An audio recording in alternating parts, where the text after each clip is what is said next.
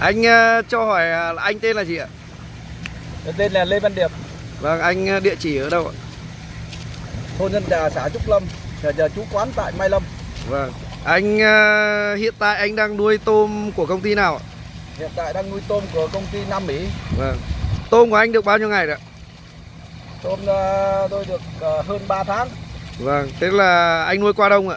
Qua đông. Vâng, thế anh hôm nay anh thu đúng không ạ? Vâng, nay thu. Thế uh, hôm qua thì anh thu một bể uh, cự, sai tôm được bao nhiêu con ạ? Sai con uh, sai được uh, hơn 40 con, 41 42 con. Vâng. Thế anh cảm thấy con giống của công ty Nam Mỹ này như thế nào ạ?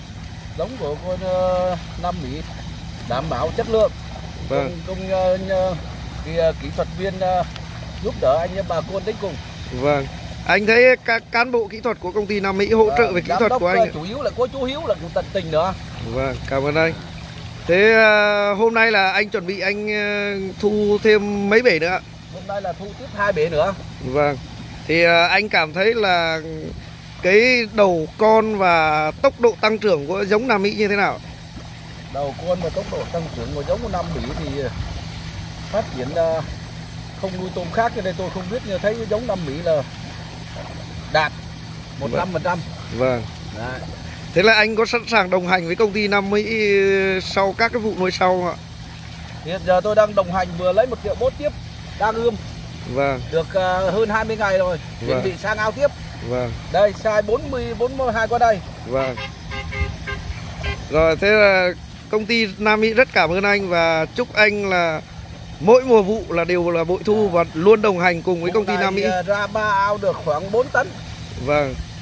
Đấy, ba ao khoảng 4 tấn. Rồi, em xin cảm ơn anh nhá. À.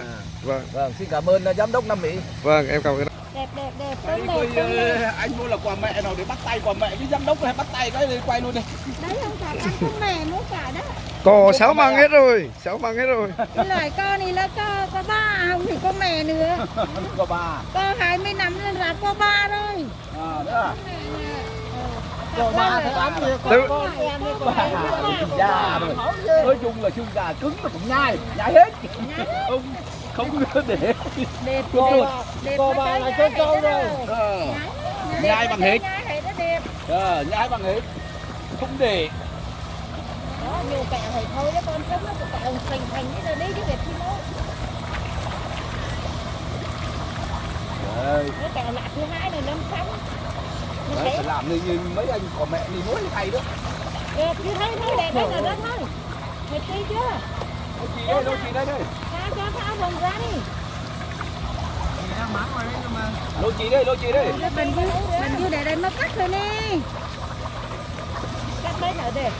Đây bên đi chứ cắt bên đi chứ. Để mấy chị đó từ từ đó. Kéo rớt chứ còn nha. Tôm ơi Kéo rớt chứ Rồng cá không là ao một củ chết luôn.